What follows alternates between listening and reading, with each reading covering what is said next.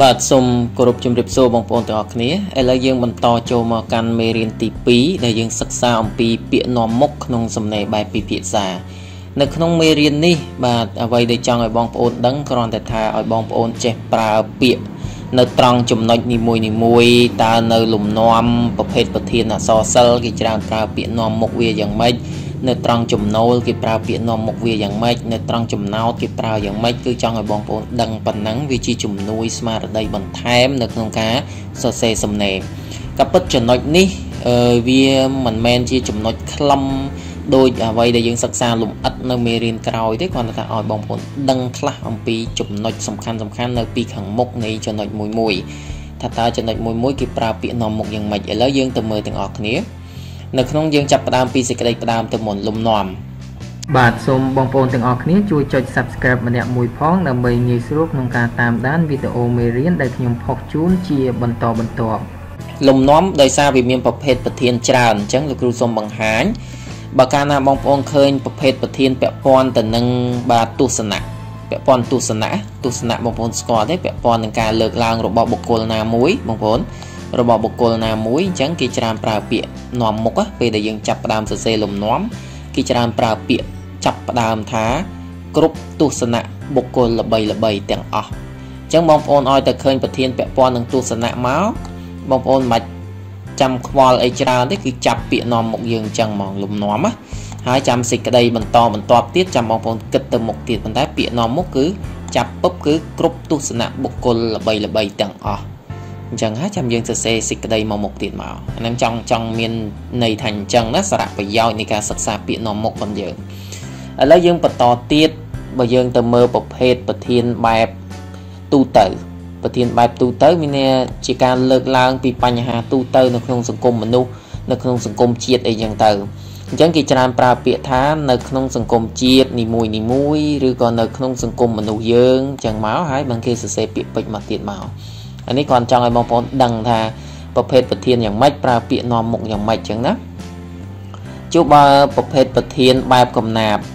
ប្រភេទប្រធានកំណាបពាក្យស្លោកសុភាសិតគេច្រើនប្រើពាក្យបែបនេះនៅក្នុងលំនាំបុព្វបុរសដូនតាខ្មែរហើយមិនគេសរសេរមកមុខទៀតមកអញ្ចឹងណាបងប្អូនបាទឥឡូវយើងមើលប្រភេទប្រធានដែលចេញក្នុងអក្សរសិល្ប៍អញ្ចឹងគេច្រើនប្រើពាក្យថាគ្រប់ស្នាដៃអក្សរសិល្ប៍ទាំងអស់ ហើយគេសរសេររៀបរាប់ទៀតមកហើយពេលខ្លះគេអាចធ្វើអញ្ចេះក្រោយពីបានសិក្សាស្នាដៃអក្សរសិល្ប៍រឿងបាទរឿងអីគេអញ្ចឹងមកបងប្អូនដាក់ដាក់បញ្ចូលមកតើរឿងអីរឿងអីហើយយើងសរសេររៀបរាប់ទៅជាលំនាំអញ្ចឹងណាហើយបើសិនជាប្រធានយើងពាក់ព័ន្ធនឹងពាក្យអប់រំឬក៏ពាក្យដែលទូមានព្រានបដៅផ្សេងផ្សេងយើងអាចប្រើពាក្យថានៅក្នុងជីវិតរស់នៅរបស់មនុស្សម្នាក់ម្នាក់ហើយយើងសរសេររៀបរាប់មក នៅពេលយើងទៅសិក្សានៅក្នុងវិញ្ញាសាបងប្អូននឹងឃើញបន្ថែមទៀតណានេះគ្រាន់តែជាការបង្ហាញត្រួសត្រាសថាឲ្យតែឃើញប្រភេទប្រធានបែបហ្នឹងគេអាចចាប់ពាក្យនាំមុខក្នុងការសរសេរលំនាំទៅបែបហ្នឹងណាអូខេតើឥឡូវយើងមើលបន្តទៀតយើងចូលមកចំណូលបញ្ហាចំណូលបញ្ហាពាក្យនាំមុខបន្វាគេច្រើនប្រើពាក្យអាស្រ័យអាស្រ័យហេតុនេះហើយទៅមានទស្សនៈមួយលើកឡើងថាហើយគេដាក់ប្រធានបញ្ចូលមកគេអាចប្រើពាក្យមួយទៀតថាដោយមើលឃើញដូចដែលបាន ណាដោយដោយបានមើលឃើញដូចនេះហើយទៅមានមតិមួយលើកឡើងថាគេដាក់មតិនឹងមកឯមតិមួយទៀតលើកឡើងថាគេដាក់ចូលមកដោយសារយើងប្រធានពិភាក្សា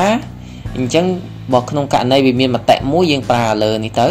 បើវាមានមតិពីរយើងប្រើក្រោមនេះអូខេបាទបន្តទៀតចំណោទបញ្ហាចំណោទបញ្ហាយើងអាចសួរបានក្នុងករណី2បាទពួកអីប្រធានវាមានសុតនិងប្រៀបធៀបអញ្ចឹងបើប្រធានពិភាក្សាសុត ពិភាក្សាសុតបងប្អូនសួរយ៉ាងម៉េចឥឡូវយើងទៅមើលប្រធានពិភាក្សាសុតគឺគេសួរអញ្ចេះតើហើយយើងដាក់មកមតិឬទស្សនៈអីចឹងមកខាងលើត្រឹមត្រូវដែរឬទេត្រឹមត្រូវដែរឬទេយើងសង្កេតណាត្រឹមត្រូវដែរឬទេអញ្ចឹងអាទៅនេះយើងអាចដាក់មតិយើងអាចដួសដាក់ទស្សនៈទៅតាមពាក្យបញ្ចេញមតិរបស់ប្រធានអានេះយើងអាចសួរមួយទៀតថាតើខាងលើត្រឹមត្រូវឬខុសបងប្អូនអាចសួរអញ្ចឹងតើមតិខាងលើត្រូវឬខុស តើទស្សនៈខាងលើត្រូវឬខុសតើការលើកឡើងខាងលើត្រូវឬខុសយើងអាចសួរអញ្ចឹងបានមួយទៀតយើងក៏អាចសួរថាតើមតិដែលបានលើកឡើងខាងលើត្រឹមត្រូវឬទេបាទត្រឹមត្រូវឬទេអញ្ចឹងក៏បានណាឥឡូវយើងមើលប្រភេទប្រធានបែបប្រៀបធៀបយើងអាចសួរថាតើទាំងពីរនេះនេះនេះនេះតើឧទាហរណ៍តើមតិទាំងពីរខាងលើ បាទមួយណាត្រឹមត្រូវជាងយើងសួរអញ្ចឹងសួរទាំងពីរនេះឃើញទេទាំងពីរទាំងពីរត្រូវមានពាក្យហ្នឹងនៅក្នុងប្រភេទប្រធានប្រៀបធៀបបាទអញ្ចឹងយើងមើលមួយទៀតយើងអាចសួរថាតើ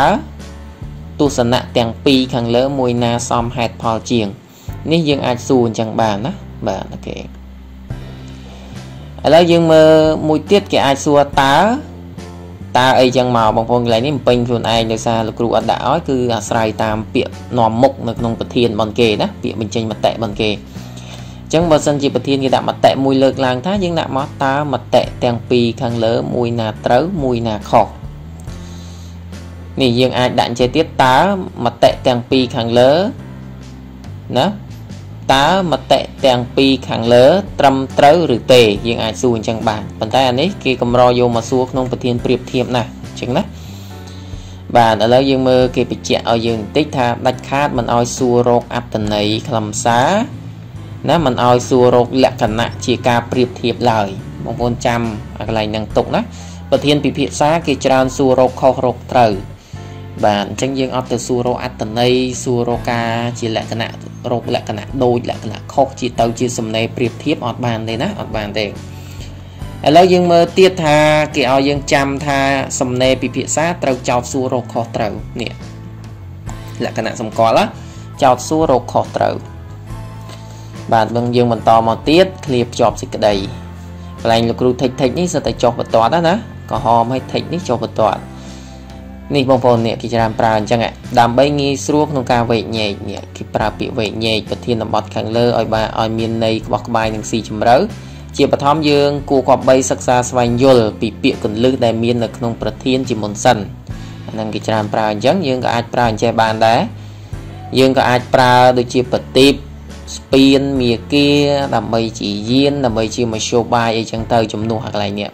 ដើម្បីងាយស្រួលនេះយើងអាចដាក់ថាដើម្បីជាប្រទីបក្នុងការវែកញែកក្នុងយើងអាចដាក់ថាដើម្បីជាប្រទីបបំភ្លឺក្នុងការវែកញែកដើម្បី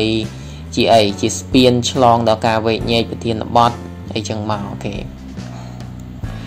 យើងចងចាំថាចេះហាមប្រើពាក្យមិនផ្លូវការឬពាក្យលលងលលោចពាក្យលខោនឧទាហរណ៍ថាពាក្យហ្នឹងប្រើមកវាហាក់បីដូចជាបាទវាលក្ខណៈដូចជា ពីរោះរំដំទៅជាលក្ខណៈដូចកាបឃ្លោងពេកអាហ្នឹងក៏ខុសដែរណាអត់មាននាំគ្នាសរសេរដើម្បីជាឆពាន់រាំងសីចែងចាំងរស្មីដល់ការបកស្រាយអីអត់ទេអត់ទេគេអត់សរសេរដល់ថ្នាក់ហ្នឹងទេណាធម្មតាសាមញ្ញសាមញ្ញដូចដែលយើងបានឃើញនេះទៅបានហើយណាឥឡូវយើងមើលបញ្យលពាក្យគឺបញ្យលពាក្យគឺគេច្រើនប្រើលក្ខណៈបែបនេះណាបើកាលណាយើងប្រើពាក្យហើយលើកក្រោយយើងដាក់ឯពាក្យ រីឯពាក្យបាទចំណែកឯពាក្យអីយ៉ាងទៅយ៉ាងណាវិញពាក្យអីយ៉ាងមកគឺកុំឲ្យវាឆ្កងកុំឲ្យវាជន់គ្នាឆ្កងឯងបើអានេះនេះអាខាងមុខនេះយើងដាក់គឺការ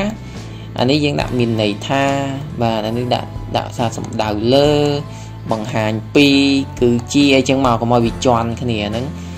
បងប្អូនយកវាទៅអនុវត្តទៅនឹងភាពវៃឆ្លាតរបស់យើងសរសេរកុំឲ្យវា ច្រំដែលច្រំដែលទៅវាឆ្កងវាឆ្កងបាទឥឡូវយើងមើលគេបញ្ជាក់ឲ្យយើងថាពេលស្រង់ពាក្យកលឹះពាក្យពិបាកត្រូវឈរលើគោលការ2បាទពេលស្រង់ស្រង់ពាក្យយកមកបញ្យលនឹងឈរលើគោលការ2ឥឡូវយើងមើលអីខ្លះបាទទី1គឺហេតុរបស់ប្រធាន និងផលរបស់ប្រធាន បាទចង់និយាយចេះថានៅពេលយើងទៅស្រង់ពាក្យកលឹះឬពាក្យពិបាកក្នុងប្រធានយកមកយើងត្រូវឈរ លើគំនិតថារោគហេតុរបស់ប្រធានតើពាក្យណាដែលវាបង្កឲ្យមានឲ្យមានហេតុនៃប្រធាននឹងកើតឡើងហេតុណាបញ្ហា ពាក្យណាដែលវាជាបញ្ហាធំនៅក្នុងប្រធានហ្នឹងបន្ទាប់មកពាក្យណាដែលហុចផលនៅក្នុងប្រធានហ្នឹង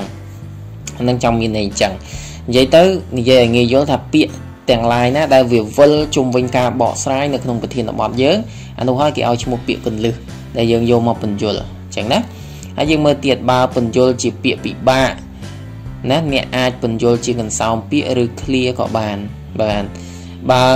កន្លែងហ្នឹងយើងអឺយល់ថាអញ្ចេះបើសិនជាយើងយកវាមកពន្យល់ទៅពន្យល់ជាពាក្យយកមកជាពាក្យវាពិបាក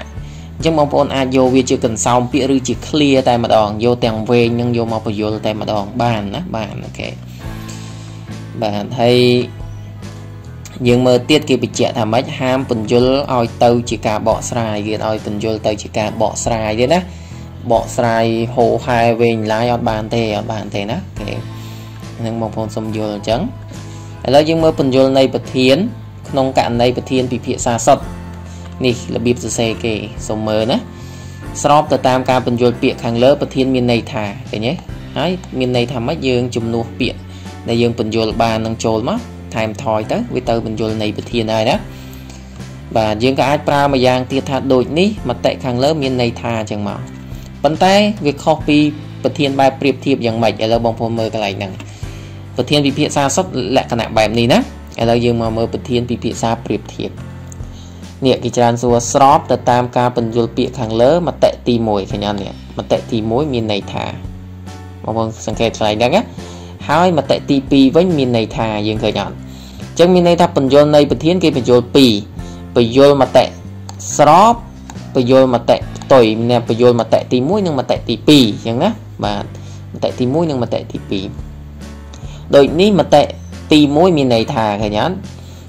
ឯមតិទី2វិញមានន័យថាឃើញទេគេបញ្យល2ករណីអញ្ចឹងណាបាទហាមបកស្រាយហាមឧទាហរណ៍កន្លែងនិយាយទៅកន្លែងពន្យល់នៃប្រធាននេះមិនមែនកន្លែងបកស្រាយទេបងប្អូនណាដែល ទម្លាប់បកស្រាយលើកឧទាហរណ៍កន្លែងហ្នឹងខុសហើយណាមិនមែនជាកន្លែងបកស្រាយឲ្យយើងបកស្រាយទេកន្លែងហ្នឹងគេអត់ឲ្យបកស្រាយទេឥឡូវបងប្អូនបន្តមកទៀតបាទបន្តមកទៀតយើងចូលបំណក់ស្រាយ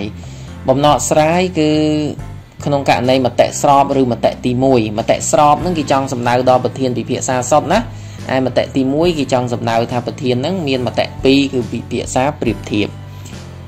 យើងមានបញ្ចេញបញ្ចូលប្រធានដោយយើងប្រើ ថាជាការពិតណាស់ឬប្រកបណាស់អញ្ចឹងណាពាក្យនាំមុខវាបាទពេលដែលយើងដាក់គំនិតសំខាន់ចូលយើងច្រើនប្រើពាក្យនេះបានជាយើងហ៊ានពោលដូចនេះក៏ព្រោះតែនេះគេច្រើនប្រើពាក្យហ្នឹងណាទាំងអស់គ្នាហើយបើគេរំលេចគំនិតសំខាន់ចូលមកចូលមកអូខេជួគំនិតសំខាន់ហើយសេចក្តីលំអិតធ្វើម៉េចទៅសេចក្តីលំអិតមានន័យគេយកគំនិតសំខាន់នឹងដាក់ចូលហើយគេប្រើពាក្យលំអិតគឺពាក្យ សំដៅលើគំនិតសំខាន់មកមានន័យថាដាក់គំនិតសំខាន់ចូលមកទៀតគឺជាការអីចឹងមកហោហែមកព្រោះអាសេចក្តីលំអិតនេះជាការលំអិតបន្ថែមឲ្យគំនិតសំខាន់អញ្ចឹងយើងយកគំនិតសំខាន់មកយើងយកមកលំអិតមកប្រើពាក្យអញ្ចឹងសំដៅលើណាឧទាហរណ៍គំនិតសំខាន់អញ្ចឹងពាក់ព័ន្ធអីឧទាហរណ៍ថាសាមគ្គីរស់អញ្ចឹងយើងដាក់សាមគ្គីរស់សំដៅលើយ៉ាងម៉េចបាទបែកបាក់សាមគ្គីស្លាប់សំដៅយ៉ាងម៉េចមានន័យថាយ៉ាងម៉េចអញ្ចឹងណាអូខេ បងប្អូនអត់យល់ comment សួរបន្ថែមណាកន្លែងហ្នឹងឥឡូវយើងមើលឧទាហរណ៍ឧទាហរណ៍គឺសូមបញ្ជាក់ថាធ្វើតាមការបង្គាប់របស់គេឥឡូវបញ្ជាក់ទៅនេះសិនបើសិនជាគេបង្គាប់មកឲ្យយើងលើកក្នុងប្រវត្តិសាស្ត្រគឺលើកប្រវត្តិសាស្ត្រនិយាយទៅគេបង្គាប់បែបណាគឺយើងធ្វើបែបហ្នឹងតម្រូវចិត្តគេអញ្ចឹងណាឥឡូវយើងមើលបើឧទាហរណ៍ក្នុងសង្គមយើងប្រើពាក្យម៉េច នៅក្នុងសង្គមជាក់ស្ដែងបើយើងក៏លេខមកសង្គមជាក់ស្ដែងគឺពាក្យនាំមុខវាអញ្ចឹងបើក្នុងប្រវត្តិសាស្ត្រក្នុងប្រវត្តិសាស្ត្រយើងមើលបើយើងក្រឡេកមកមើលប្រវត្តិសាស្ត្រខ្មែរក្នុងសម័យអីប្រាប់ឈ្មោះសម័យកាលឲ្យច្បាស់ឯនៅក្នុងសម័យអីទៀតអញ្ចឹងបើយើងលើក2 3សម័យកាលយើងថែមថយតាមនឹងមកហើយយើងមើលទៀតនេះបើចាំកាលបរិច្ឆេទកាន់តែល្អប្រសើរតែត្រូវសរសេរជាអក្សរ ក្នុងករណីបងប្អូនចង់លើកសម័យអីកម្ពុជាប្រជាធិបតេយ្យបងប្អូនចាំឆ្នាំទេ1975ដល់1979អញ្ចឹងយើងសរសេរមកប៉ុន្តែគេអត់ឲ្យសរសេរជាលេខទេគេឲ្យសរសេរជាអអក្សរអូខេចុះបើលើកក្នុងអក្សរសិល្ប៍លើកក្នុងអក្សរសិល្ប៍យើងអាចថាបើយើងក្រឡេកមើលរឿងដាក់មករឿងអីគេឯរឿងរឿងអីចឹងមកហោហែចឹងមកតោះនេះបងប្អូនហ្នឹងអាហ្នឹងគឺជាការលើកក្នុងស្នាដៃអក្សរសិល្ប៍ណាយើងអាចប្រើអញ្ចឹង ប្រាប់ឈ្មោះរឿងណាប្រាប់ឈ្មោះអ្នកនិពន្ធអីចឹងមកអាហ្នឹងល្អណាស់បាទនេះថាបញ្ជាក់ថាឧទាហរណ៍ក្នុងស្នាដៃអក្សរសិល្ប៍គប់3លើកឲ្យបាន3រឿងឲ្យបាន3រឿងហើយបើអាចគួររំលេចឈ្មោះអ្នកនិពន្ធការបរិច្ឆេទចលនាឬប្រភេទរឿងឧទាហរណ៍យើងលើករឿងអីគេ